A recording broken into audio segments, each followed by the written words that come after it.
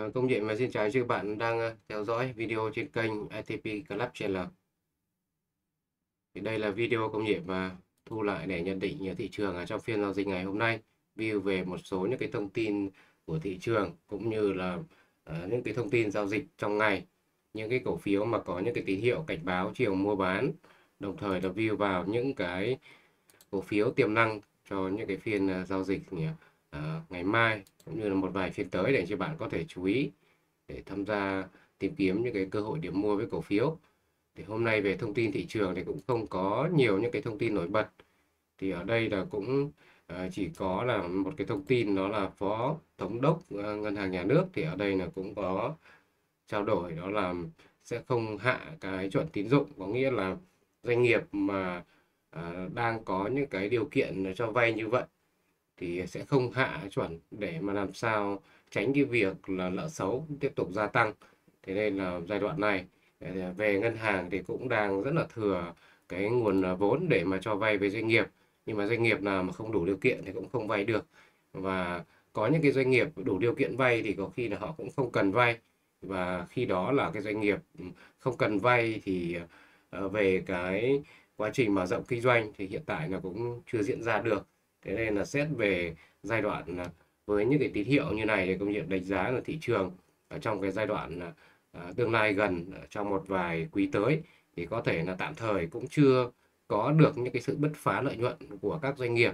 Thế nên là với những cái tín hiệu như vậy để mà thị trường tăng mạnh lên được ở trong cái giai đoạn một vài cái quý tới thì công nhận đánh giá là hiện tại là chưa cao.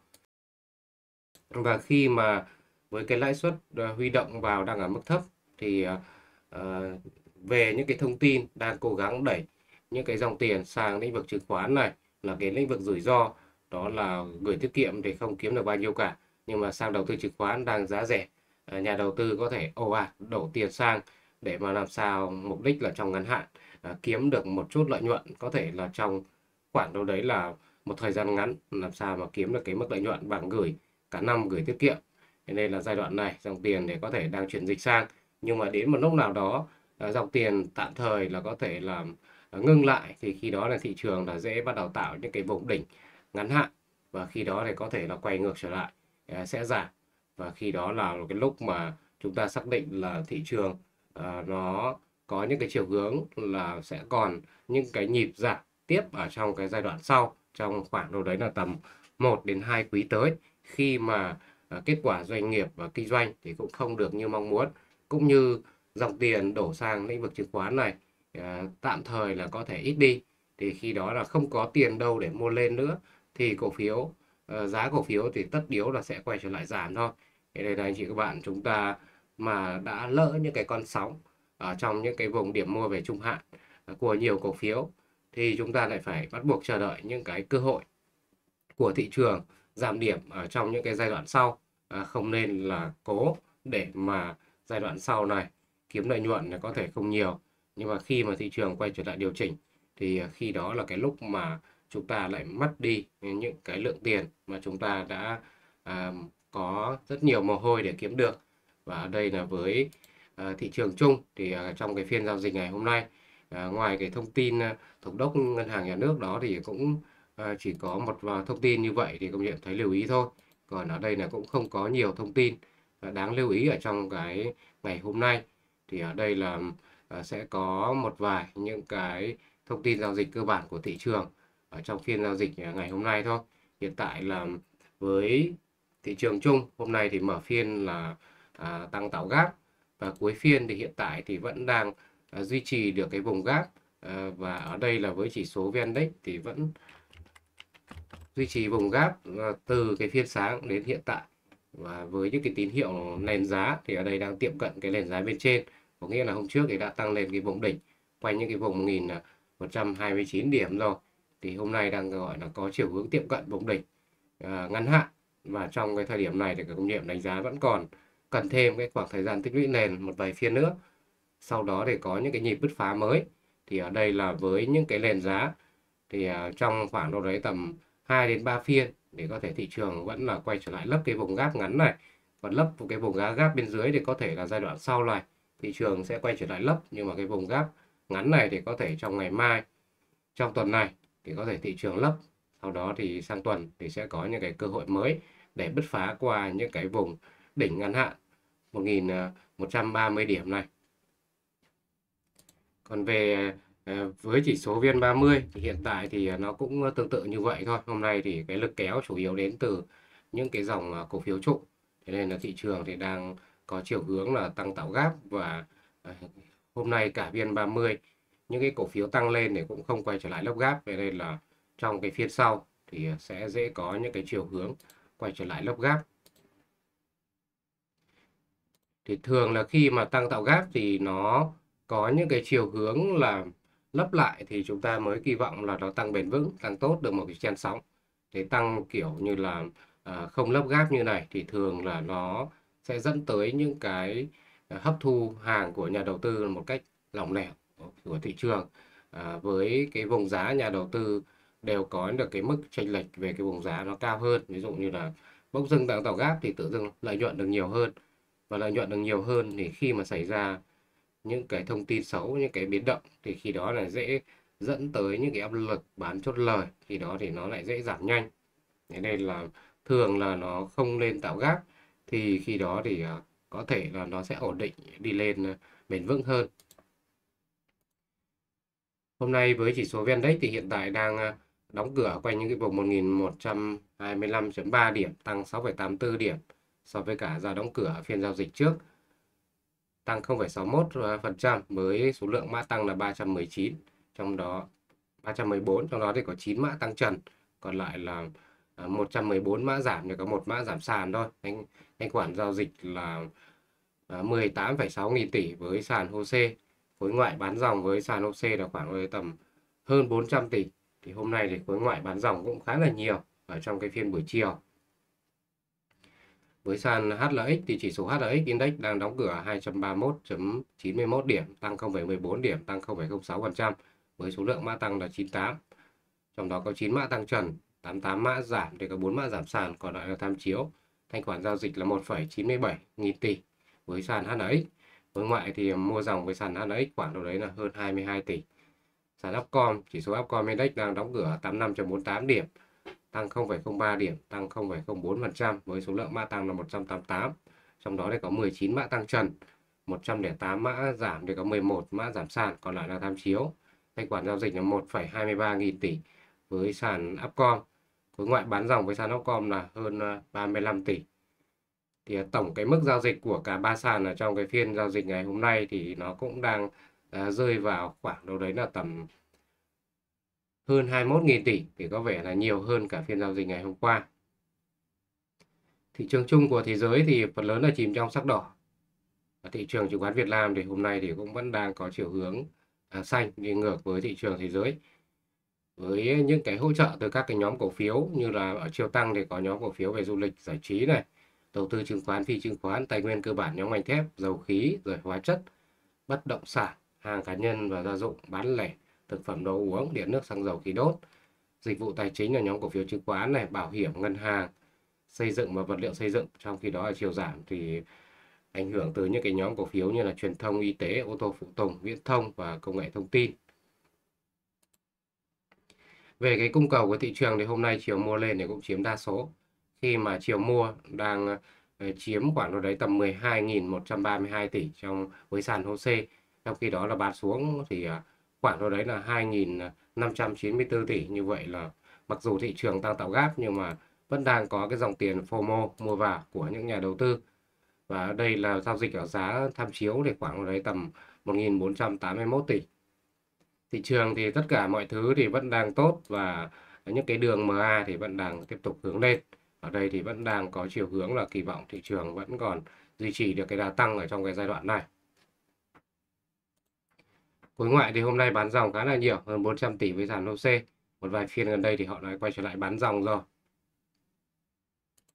Về những cái cổ phiếu trụ ảnh hưởng lớn đến điểm số để ở đây hôm nay chiều tăng thì có ảnh hưởng từ những cái cổ phiếu như là Vinhome, BID, Vietcombank, Hòa Phát rồi CTG, Vietnam Airlines này, Vinamilk, STB, DGC, DIG và nó chiều giảm thì ở đây là ảnh hưởng từ những cổ phiếu như là BCM, GVG, GAT rồi FPT, VPBank, ACB, Kinh Bắc này, TDP, vì Hà Nội này, VCI thì đó là những cái thông tin giao dịch cơ bản của thị trường. Giờ chuyển sang view với những cái cổ phiếu mà có tín hiệu cảnh báo vào cái chiều mua bán để cho bạn là chúng ta có thể tìm kiếm những cái cơ hội điểm mua cũng như là chúng ta có thể là tránh xa những cái tín hiệu của cổ phiếu rủi ro có những cái tín hiệu điểm bán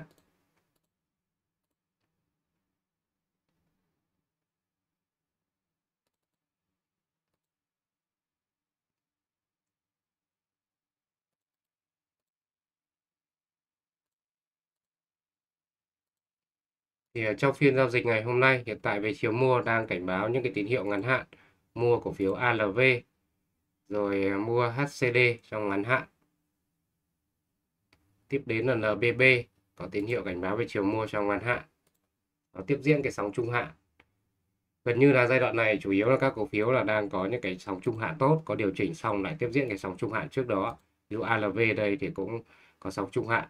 Điều chỉnh thì nó, đây là dạng những cái tín hiệu tiếp diễn cái sóng trung hạn trước. HCD cũng vậy này. NVB SSC thì cũng tiếp diễn sóng trung hạn trước đó. Kháng cự của nó còn trên những cái vùng 48 nên là cơ hội tăng tiếp của nó vẫn còn dư địa khá là nhiều. Một cổ phiếu có tín hiệu cảnh báo bán ở giai đoạn này thì đó là Tiên Phong Banh. Tiên Phong Banh sau khi gặp cái vùng kháng cự ở quanh những cái vùng giá bản đồ đấy là 20 đó là cái vùng kháng cự về trung dài hạn coi như là đã đạt target hồi về trung dài hạn thì nó quay trở lại, nó điều chỉnh. Thì ở đây là nó vẫn chưa gãy cái sóng về trung hạn. Nên cái quá trình à, có thể vẫn còn có những cái nhịp tăng tiếp ở giai đoạn sau này. Thế còn trong ngắn hạn thì ở đây nó đang có những cái tín hiệu cảnh báo bán. TIG hiện tại thì cũng quay ngược trở lại, tăng tiếp diễn cái sóng trung hạn rồi. Gần như những cái cổ phiếu giai đoạn này thì công nghiệp đánh giá là nó điều chỉnh xong nó tiếp diễn xong trung hạn, nhưng mà cố gắng lựa chọn làm sao mà những cái cổ phiếu nó an toàn một chút để chúng ta có được những cái cơ hội đầu tư nó nó chuẩn. Cũng như là khi mà bán thì nó dễ, chúng ta hạn chế tham gia vào những cái cổ phiếu mà nó thuộc cái dòng cổ phiếu nhỏ. Sau này thì khi mà nó có những cái tín hiệu thị trường chung giảm thì à, khi đó nó cũng giảm sàn rất là nhanh. Vì à, ở đây là với thị trường chung thì thường là đến một giai đoạn nào đó nó có tín hiệu bán thì nó sẽ bán chung trong một ngày. Và khi đó là những cái biến động nó rất là lớn. Thì gần như là những cái cổ phiếu nhỏ nó lăn ra sàn ngay lập tức. Thế nên là ở đây là anh chị bạn chú ý là trong quá trình đầu tư thì à, giai đoạn này nó là dòng tiền nó đang thu hút vào những cái cổ phiếu lớn hơn những cái cổ phiếu trụ thì à, chúng ta có thể chú ý là, là chúng ta có thể phân bổ cái dòng tiền để mà làm sao kỳ vọng vào những cái nhóm cổ phiếu à, cái dòng trụ là nhiều hơn. Thép tiến lên này cũng có những cái tín hiệu ngắn hạn trở lại, nhưng mà tích lũy khá là lỏng lẻo ở trong giai đoạn này. CTI cũng vậy, tích lũy khá là lỏng lẻo. Hiện tại là phần lớn các cổ phiếu đều đang kéo có vẻ là hơi gấp, hơi hơi gấp gáp ở trong giai đoạn này. Thì không biết tại sao lại gấp gáp như vậy, nhưng công nhận thấy là thị trường nó có rung lắc điều chỉnh, chưa tạo nền ổn với nhiều cổ phiếu, bỗng dưng quay ngược trở lại tăng. Như vậy là đang có chiều hướng là một là những nhà đầu tư ờ, đang ờ, thừa tiền, đang nóng ruột để mà kỳ vọng thị trường tăng mạnh luôn trong một cái trend về trung dài hạn. Có nghĩa là có vẻ là đang được ờ, những nhà những broker cũng như là những người tư vấn đang kích thích về cái tâm lý hơi tốt. Nên là đang có hiện tượng là bị FOMO. Đó là ờ, FOMO theo cái chiều là sợ lỡ cơ hội, thị trường đang bước vào uptrend và đang sợ lỡ cơ hội là uptrend dài hạn. Mà ở đây là chân sóng, nên là nhà đầu tư đang có chiều hướng là ờ, FOMO vào. Để công nhận thấy là thị trường thì thường là uptrend về dài hạn. Nó cũng coi như giai đoạn này thì à, công nhận thấy là nó chỉ là chân sóng hồi về trung hạn thôi. Trong khi là có nhiều quan điểm khác thì sẽ là uptrend về dài hạn. Nên là được hô hào là sẽ tăng lên những cái vùng giá à, vùng đỉnh cũ 1.500 chẳng hạn, hay 1.400 thậm chí là hơn. Thế nên là ở đây là đang có vẻ là đang được à, ảnh hưởng đến tâm lý từ những nhà đầu tư đang lạc quan quá đà với thị trường thì với công nghiệp mình thấy kỳ vọng nó ở mức vừa phải, đó là công nghiệp kỳ vọng với thị trường tăng lên vùng 1.200 điểm. Sau đó thì có thể quay trở lại điều chỉnh, rồi sẽ tạo những cái tín hiệu bán về trung hạn. Và khi mà có tín hiệu bán về trung hạn thì giai đoạn sau này khi mà giảm điểm, rồi tích lũy đủ, lại tạo những cái con sóng về trung hạn mới, thì những cái con sóng sau để công nghiệm đánh giá là nó mạnh hơn, cũng như là với chính các cái cổ phiếu ở trong cái giai đoạn này, nó đều là trong những cái thời điểm trong những cái thời điểm là những cái tín hiệu ngắn thì thường là rất là yếu sideways trong những cái biên độ hẹp, tích lũy. Rồi sau đó là khi mà bứt phá rồi thì bắt đầu chạy những cái chen xu hướng về trung hạn. Thì à, bắt đầu là rơi vào trong những cái chen khỏe. Thì thế lên là chen trung hạn thì nó cũng tương tự như vậy, đó là nó điều chỉnh. Rồi sau này nó tạo những cái chen trung hạn mới chẳng hạn. Thì những cái sóng sau là những cái sóng mà nền kinh tế nó ổn định rồi, mọi thứ nó đang vào guồng rồi, doanh nghiệp bắt đầu lợi nhuận dần dần gia tăng rồi thì lúc đó là những cái con sóng mà nó sẽ mạnh hơn và lúc đó là những cái sóng mà chúng ta có thể kỳ vọng là những cái con sóng lớn. Thì ở đây là giai đoạn này thì công nghiệm thấy cũng có kỳ vọng ờ, thị trường tăng một trend hồi trung hạn nhưng mà chỉ target lên 1.200 điểm thôi. Cũng chưa phải là uh, có thể là vượt qua ngay được xác suất để mà vượt qua thì công nghiệm đánh giá là không cao.